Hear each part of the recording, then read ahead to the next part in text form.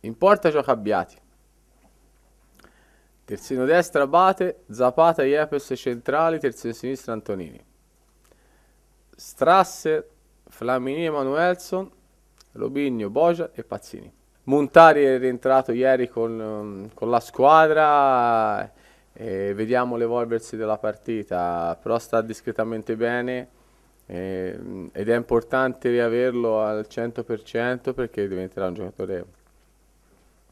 eh, dall'inizio del nuovo anno ehm, fondamentale. Innanzitutto per noi quest'anno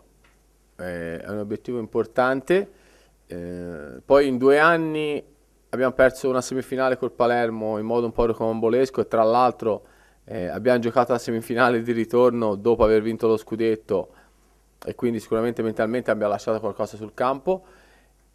L'anno scorso abbiamo perso una semifinale contro la Juventus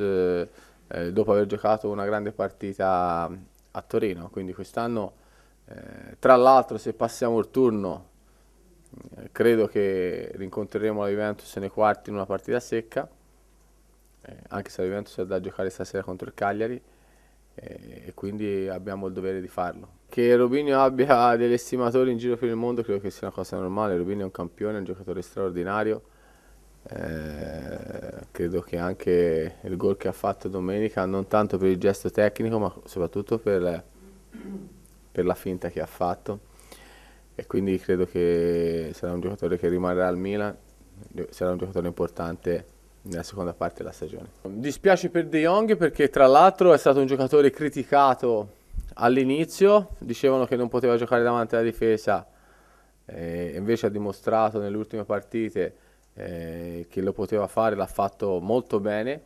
aveva bisogno di, di, capire un po' il calcio italiano, di conoscere i compagni e, sicur e sicuramente di adattarsi in una posizione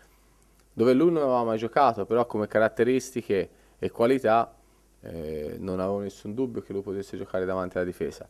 e abbiamo, avuto, abbiamo subito una grossa perdita.